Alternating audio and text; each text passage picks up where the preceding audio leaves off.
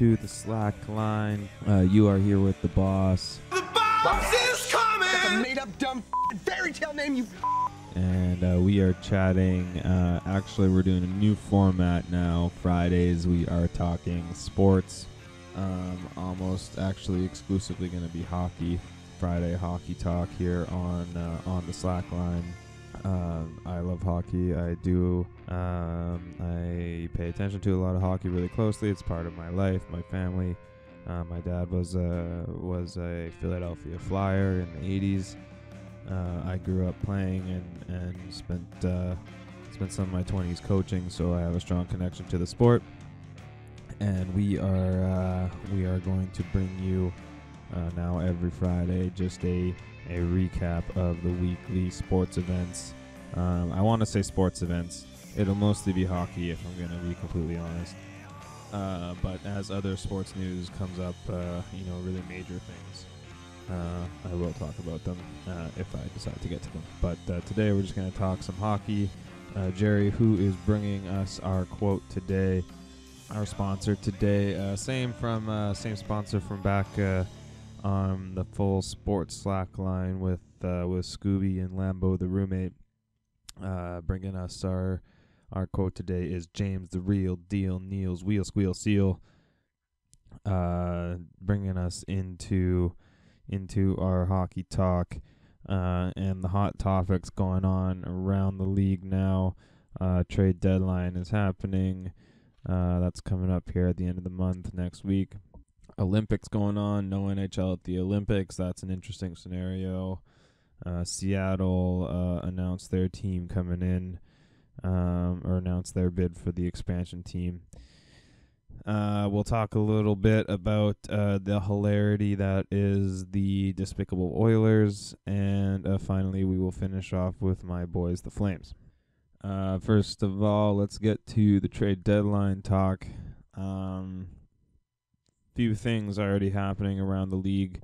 Of course, the big one is the uh, LA Ottawa deal uh, involving uh, Dion Phaneuf and Marian Gaborik uh, Nate Thompson and uh, Drew Shore.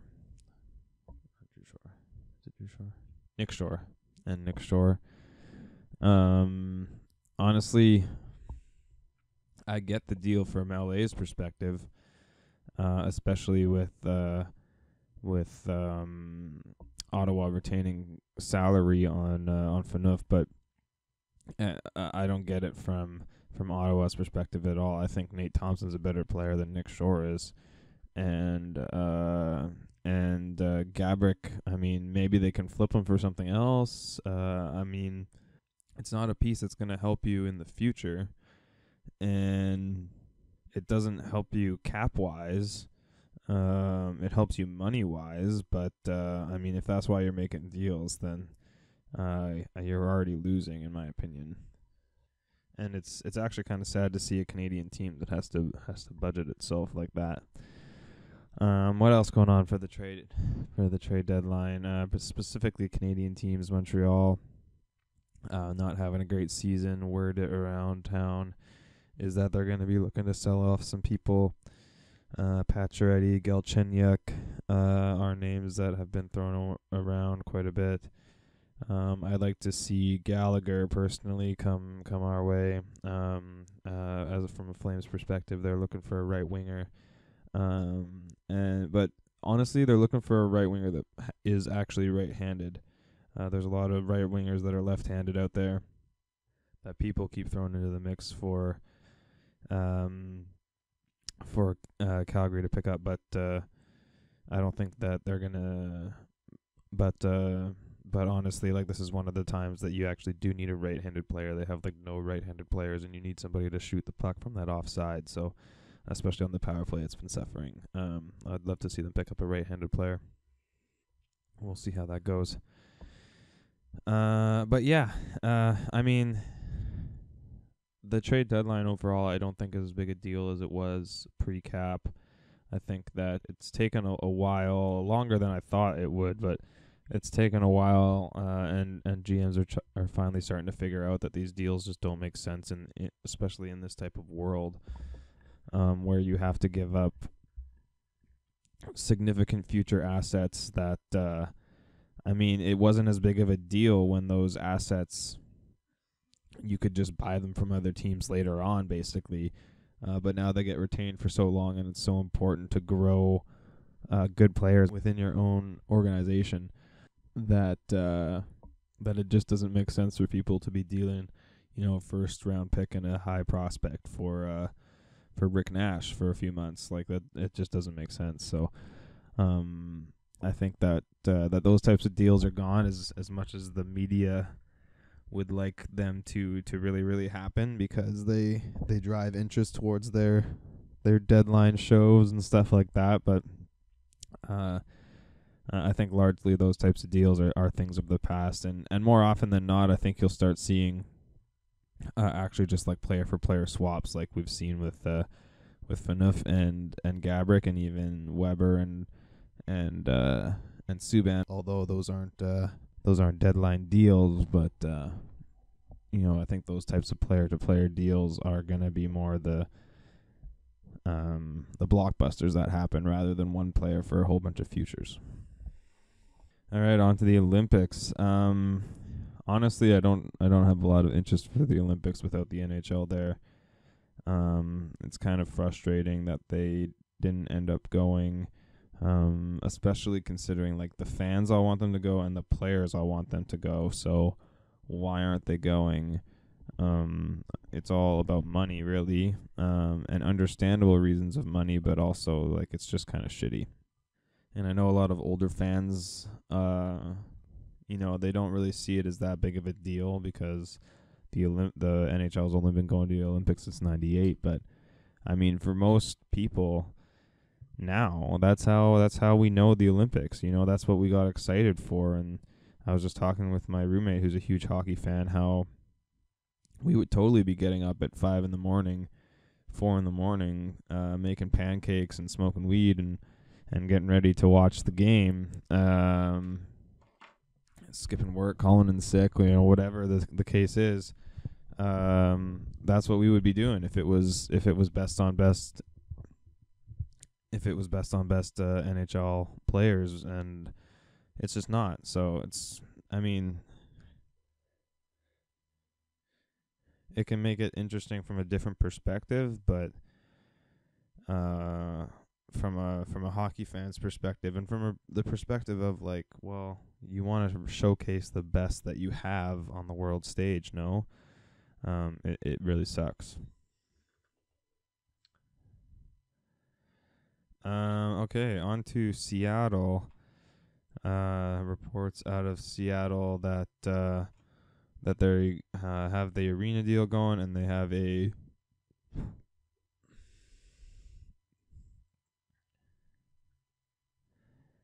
they have officially confirmed their uh, their bid for an expansion team. They have to put in a ten million dollar deposit um, I think deadline is the uh, is uh, is March sometime. I want to say.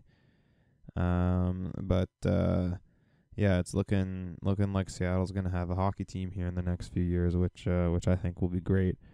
Um, I've always thought that it was kind of weird that they didn't have one a while ago, um, and I think it's a it's a perfect place for for a decent expansion team to grow and thrive and um I know that the that Seattle people they consider themselves kind of an an alternative group. Uh, they really support their soccer there, and uh, and you know just kind of alternative music scenes and that type of stuff. And and I think that will include a a love for hockey. uh, something different that comes into the city over football or baseball. So, um, yeah, really interested to see what happens there. Uh, specifically to see what they name the team. There's a lot of w- kind of weird ones floating around.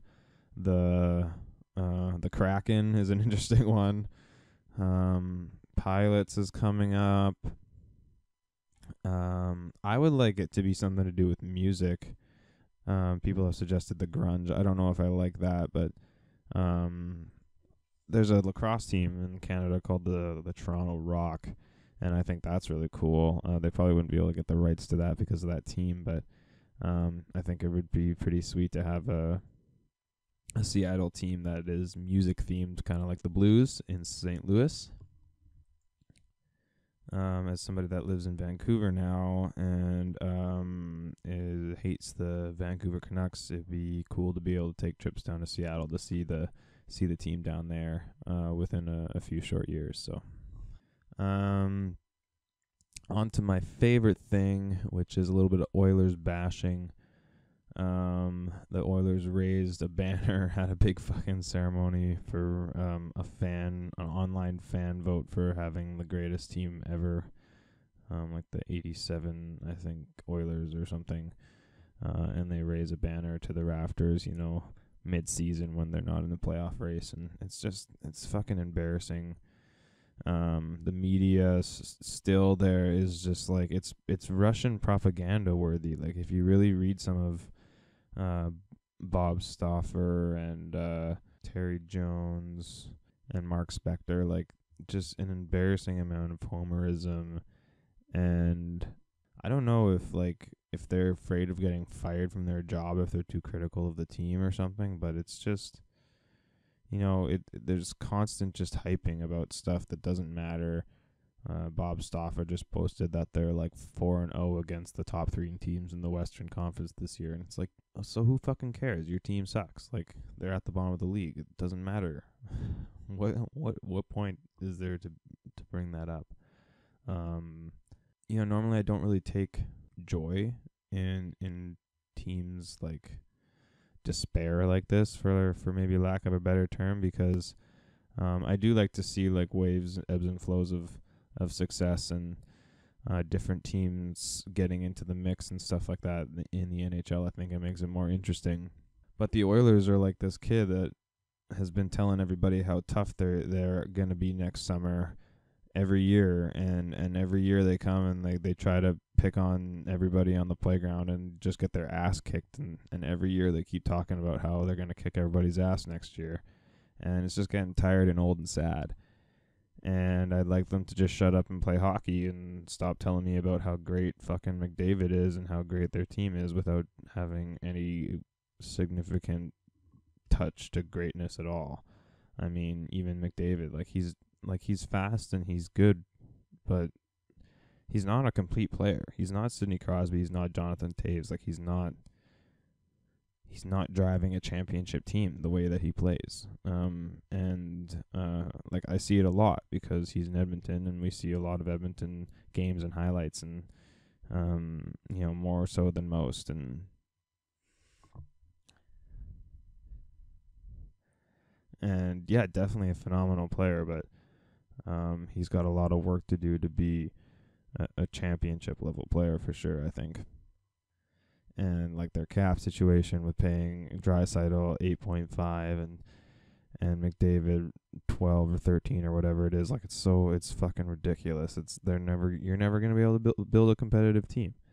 Like it's just not gonna be the case because you'll you won't be able to get surrounded by good players. Like I always wonder why why players don't see this more when in contract negotiations and a GM's like, look, okay, the market says you're worth 10 or worth 12. But if I pay you that, then I can't pay anybody else anything. And uh, you're not going to be be winning Stanley Cups and Conn Smythes and you know whatever have you. We won't have these dynasty teams. You'll just be, you know, an extra 2 million dollars a year richer for for what? You know, when you're making six or eight or ten million dollars, is it really that much of a difference between those things? I I really don't think so, to be honest. And uh, on to my boys, the Flames. Um, the Flames, uh, they beat the Preds tonight. Really great game. I watched it. Uh, a lot of back and forth. The Preds are a great team. Fun to watch. Fun to watch in that building. Um, I just think that uh, got to give the the Flames some love, especially Johnny Gaudreau. He doesn't get as enough love as one of the top tier players in this league, especially contrasted with McDavid up the street, um, who he is tied with or better than points with at at this point. Um, for second in the league, like the guy's a superstar. Mike Smith, uh, unfortunately injured right now, but I think should be getting Vezina consideration.